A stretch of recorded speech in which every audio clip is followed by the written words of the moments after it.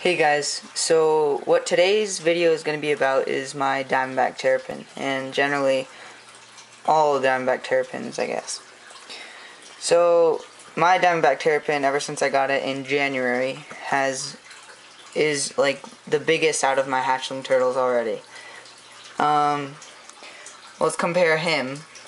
He's like same size as my map, which is like three inches about little over that. And then there's my pastel, who's like not even two inches yet. And he is just growing massive. And really there is a reason for that. He, whenever I put food in this tank, he is always the first one to go after. He eats all the food. He is, um, definitely has the best behavior, I'd say. Like, this most energetic. And, um, he's not really scared or anything.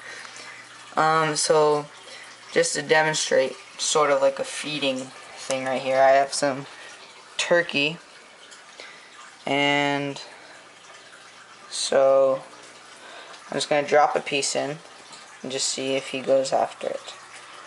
First time feeding turkey too.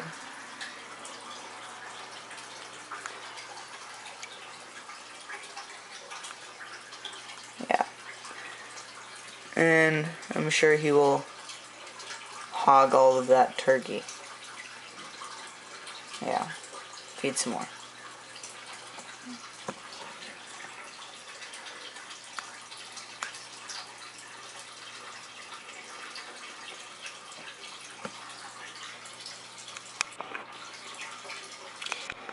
Um, Diamondback terrapins grow very fast.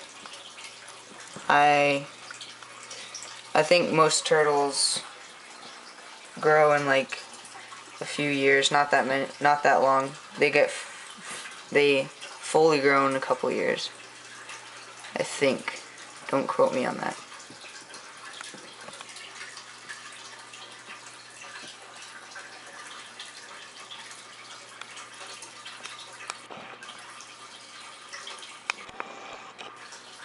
I really like my Diamondback Terrapin though. He's very energetic, not shy at all.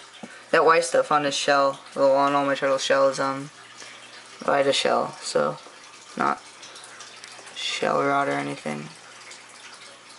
So yeah, talking about the 100 gallon tank, um, in like just a couple weeks now I'll have it set up because, yeah, I will I'm looking to get a Rena XP4 filter, um, Eheim Jäger, whatever heater. Yeah, so that'll be cool. And if you guys have any other oh, and I might get a UV sterilizer too. So tell me what you guys think about those because I've heard people say they're really good, keeps water clear, keeps algae out.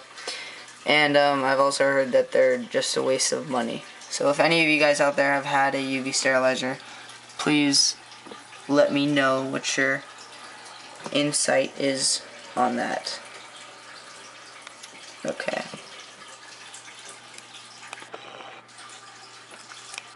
So, yep, that's it for this video, guys. Thanks for watching, and, yep, bye.